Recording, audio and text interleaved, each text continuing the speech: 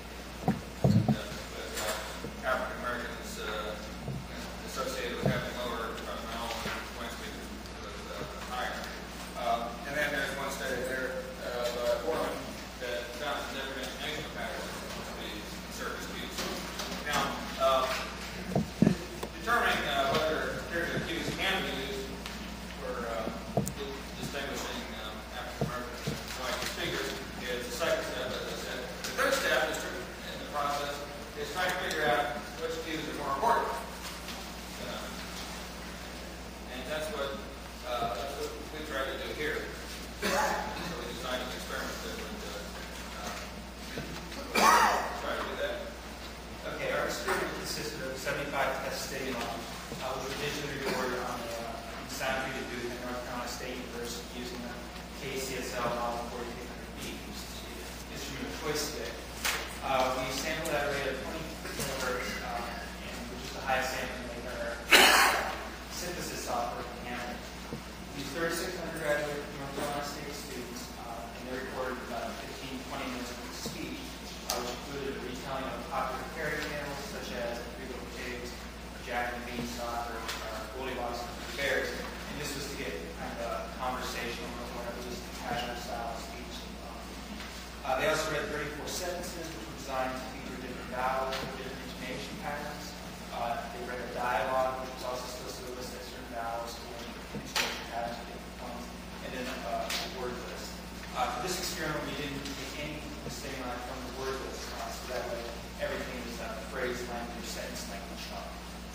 Uh, we used a random selection technique to determine which stimuli we would use. Um, we assigned numbers to the speakers passages to match them up. Um, the fairy tale was divided into 10 segments regarding how long it actually took to tell.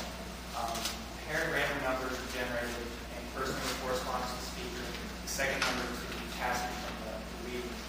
Um, and for the fairy tale stimuli, a single sentence or phrase out of the chunk was selected rather than an entire chunk, uh, so that way we're keeping everything roughly the same length and time. Okay. No voice appeared more than three times in the experiment, and no voice occurred consecutively in the experiment. Uh, furthermore, no passage occurred consecutively. We exclude passages that were uh, misread or included long pauses or stuff. 75 stimuli were then grouped in sets of five, and the voice produced each set by a number of set one, set two, etc. Each stimulus was repeated once after a one second pause. Three seconds were allowed between stimuli to allow listeners to mark their answers, which they did by circling either European American or African American on their answer sheets. This binary choice test matches most people's views of ethnicity in the United States, especially in the South. Furthermore, this forced choice nature uh, facilitates the statistical analysis of performance.